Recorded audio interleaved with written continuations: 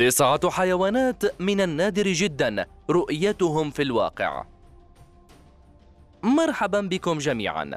اليوم سنتعرف معا على أكثر الحيوانات النادرة والتي لا يمكن لأي شخص رؤيتها في العالم الواقعي. ولكن قبل أن نبدأ لا تنسوا الاشتراك في القناة وتفعيل زر الإشعارات ليصلكم كل ما هو جديد. هل أنتم مستعدون؟ هيا بنا نبدأ.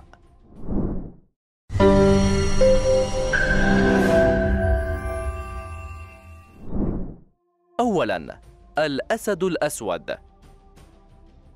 في الفترة الأخيرة انتشرت على الإنترنت صور لأسد لونه أسود بالكامل وأصبحت فيروسية. ولكن بعد ذلك تم التأكد من أنها صورة مزيفة وتم تعديلها على برنامج الفوتوشوب. ولكن عندما بحثنا عن شيء مشابه في الواقع وجدنا أن هناك بالفعل أسدا يتميز باللون الأسود أو اللون الداكن. ففي عام 2017 اكتشف أحد الرحالة وعلماء الحيوان العاملين في National Geographic هذا الأسد ذا اللون الداكن في إثيوبيا فهي فصيلة نادرة تعيش خارج حدود السافانا وقد كنا نعتقد أن الأسود الإثيوبية قد انقرضت منذ زمن بعيد. ولكن في عام 2016 استطعنا أن نعثر على قطيع مكون من أربعين أسدا تقريبا. وبشكل عام أصبحت جميع فصائل الأسود في الوقت الحالي في خطر الانقراض بالرغم من كل الصور التي تنتشر لها وهي في قمة قوتها وسيادتها. ولكن من الناحية النظرية أكد العلماء أنه من الممكن العثور على أسد ذي لون أسود بالكامل. وحتى وإن كانت رؤية واحد منهم صعبة للغاية مثل ما يصعب عليك رؤية وحيد القرن على سبيل المثال. إلا أن هذا لا يعني أنه من المستحيل رؤية الأسد ذي اللون الأسود. فيقال إنه تمت رؤية أسد ذي لون أسود بالكامل في تنزانيا. وفي عام 2008 انتشرت شائعات حول ظهور أسد ذي لون أسود ضخم في شوارع جنوب إفريقيا. وما زال العلماء غير قادرين على معرفة كافة التفاصيل الوراثية والسمات المميزة للأسد الأسود لصعوبة رؤيته. ولكنهم ما زالوا يأملون في ذلك. ثانياً فاكيتا. تعتبر سمكة الفاكيتا من الثدييات البحرية النادرة جداً وقد صرح العلماء أنه لم يعد في البحار من هذه الفصيلة سوى عشر أسماك فقط ويصل طول هذه السمكة إلى خمس أقدام بينما يبلغ وزنها حوالي 65 كيلوغراما. ولم يتم العثور عليها سوى في خليج كاليفورنيا بالمكسيك. وبالرغم من أنها تعيش بالقرب من المياه الضحلة إلا أن قلة عددها تجعل رؤية أحد أفرادها أمرا نادرا جدا. ويعد الصيد الجائر وغير القانوني هو السبب الرئيسي وراء تهديد هذه الفصيلة بالانقراض. حيث قامت السلطات بمنع صيد هذا النوع من الأسماك في عام 1975 ولكن للأسف لم ينفذ كل صيادين ذلك القانون. وبعد سنوات طويلة لم يتم العثور على أي فرد من أسماك الفاكيتا إلا في عام 2020 وقد كانت ميتة بالفعل قبل أن يتم اصطيادها. وقد طالبت المؤسسات المختصة في الحفاظ على الثروة السمكية بأن تقوم الأمم المتحدة بمعاقبة المكسيك لإهمالها هذا الأمر وعدم معاقبة الخارقين للقانون وتحملها كافة المسؤولية وراء انقراض هذا النوع. ثالثاً غزال سينيكا الأبيض يعد الغزال الأبيض من أكثر فصائل الغزلان النادرة والتي تعيش حالياً فقط في غابات نائية بمدينة نيويورك بالولايات المتحدة الأمريكية وهي لا تفضل العيش مفردها لقلة عددها وإنما تعيش وسط فصائل الغزلان الأخرى البنية. وتحدث عمليات تزاوج بين الغزال البني والأبيض لتنتج فصيلة ثالثة تجمع بين الاثنين. وقد ذكر العلماء أن هذا اللون الأبيض يرجع إلى مرض وراثي نتيجة طفرة في الجينات التي قللت من كمية المادة التصبغية في الجلد. وعلى عكس الحيوانات المصابة بالبهاق التي تنعدم في جيناتها الصبغة السوداء فإن الغزال الأبيض يمتلك مواد تصبغية ولكن بنسبة قليلة. والدليل على ذلك هو لونه البني قليلا في رأسه وأنفه وفي فمه. كما أنه لا يعاني من مشاكل في الرؤية مثل ما تعاني منها الحيوانات المصابة بالبهاق وبسبب ندرته في الحياة البرية يسعى الصائدون الجائرون إلى الوصول إليه واصطياده بأي شكل ولكن لحسن الحظ فقد تمت حمايته. وبالفعل ازداد عدده في الستين سنة الأخيرة بمعدل كبير حيث تصادف أن المكان المتواجد فيه خصصته حكومة الولايات المتحدة ليكون مخزنا للأسلحة. التي استخدمت في الحرب العالمية وغيرها من الحروب. وهذا ما جعلها تحيط المكان بسور من الأسلاك الشائكة. وبالتالي فقد تمت حماية الغزلان البيضاء الموجودة فيه من الحيوانات المفترسة. وقبل عدة سنوات أرادت الحكومة أن تحول مخزن السلاح هذا إلى محمية طبيعية يمكن للزوار أن يأتوا إليها ليروا الغزال الأبيض. ولكن المشروع قد توقف بسبب مشكلات مادية في التأسيس. رابعاً طائر الغطاس المقلنس. يشتهر طائر غطاس مقلنس بعادات التزاوج الخاصة به فهو يجتمع مع أنثاه بشكل رومانسي جدا ويحرك رأسه بشكل غريب مما يثير دهشة كل من يرى هذا المقطع. وقد تم اكتشافه في سنوات الستينات وهو يعيش في بعض البقاع في الأرجنتين وتشيلي. وقد قام بتصوير هذا المقطع مجموعة من المصورين الهواة الذين اشتهروا كثيرا بعد هذا التسجيل الذي كتب في عنوانه رقص التانغو مع الرياح وسط الماء. وقد أثبتت الإحصائيات أنه لم يتبقى من هذه الفصيلة سوى 500 زوج فقط مما يعني أنها أصبحت مهددة بالانقراض. ومن أحد أهم أسباب قلة عددها أنها تتغذى بشكل أساسي على نبات يدعى ميلفويل. من المفترض أنه ينبت في البحيرات التي تعيش فيه تلك الطيور. ولكن في الآونة الأخيرة بدأت البحيرات تجف والنبات هذا لا ينمو بداخلها مما أدى إلى موت تلك الطيور.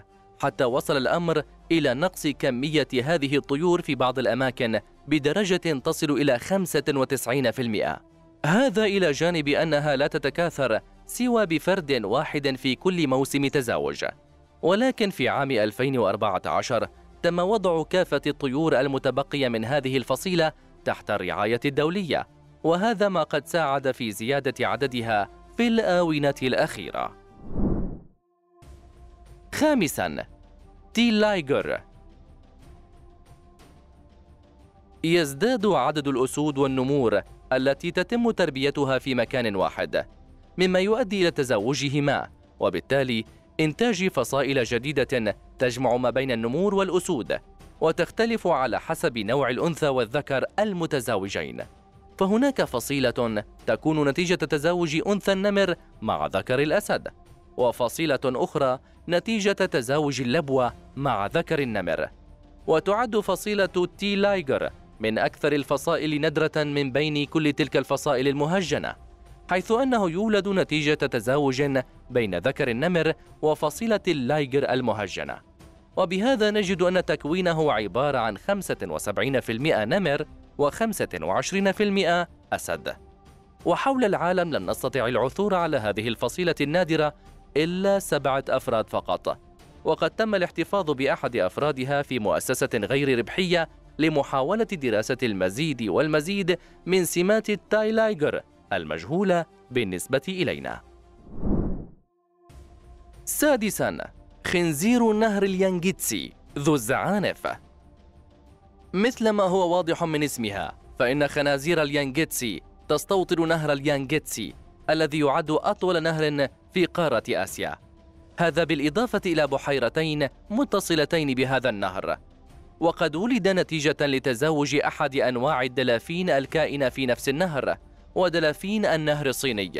وللأسف تم التصريح بأن دلافين نهر اليانجيتسي قد انقرضت تماما في عام 2006 بسبب الأنشطة البشرية المأساوية وبالتالي لم يتبقى فيه سوى خنازير نهر اليانجيتسي. وهو بذلك يعد نوع الدلافين الوحيد الموجود في هذا النهر. ويتميز هذا الدولفين الخنزير بصغر حجمه حيث يصل طوله إلى مترين تقريبا. وهو ذو دور أساسي ومهم للغاية للحفاظ على تسلسل السلسلة الغذائية في النهر. والجدير بالذكر أن هذه الفصيلة تخضع إلى نظام حماية ومراقبة شديد جدا لكي لا تتكرر مأساة انقراض دولفين النهر. وقد أثبتت الإحصائيات أن عدد أفراده يتراوح ما بين 1000 إلى 1800 خنزير. سابعاً الساولا تعد الساولا واحدة من أكثر الثدييات ندرة في العالم ويعني اسمها في اللغة الفيتنامية القرون المغزولة ويطلق عليها أيضا لقب وحيد القرن الآسيوي وهي لها علاقة بالماشية والجاموسة ولكنها تشبه الظباء إلى حد ما.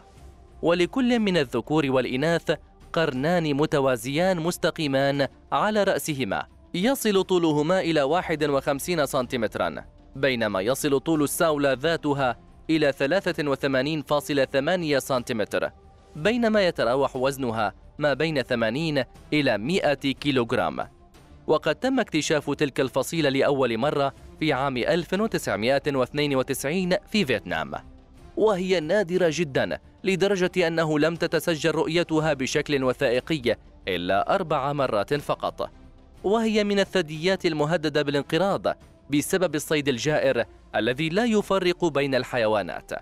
وفي عام 2019 أنشأت الحكومة الفيتنامية محمية طبيعية لتحفظ بها كافة أنواع الحيوانات النادرة والمهددة بالانقراض.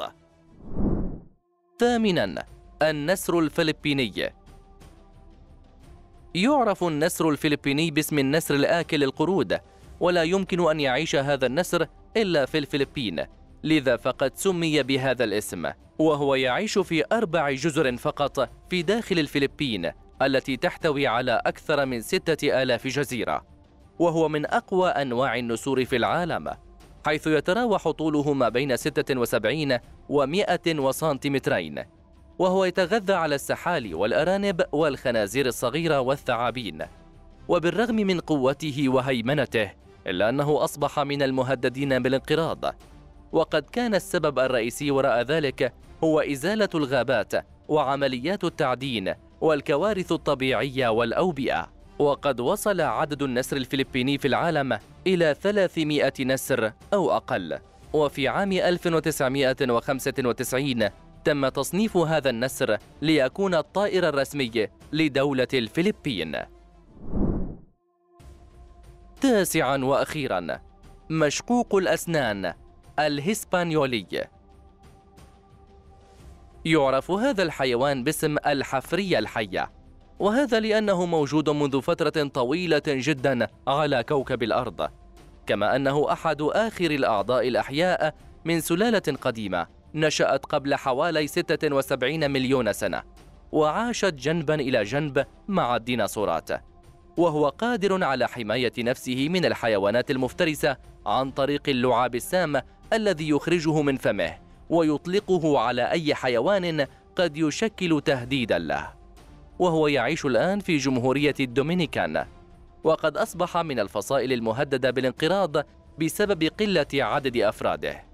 وهو يقضي معظم أوقاته في مخابئ تحت الأرض ومن الصعب جدا على أي شخص وحتى على الكائنين في موطنه أن يروه.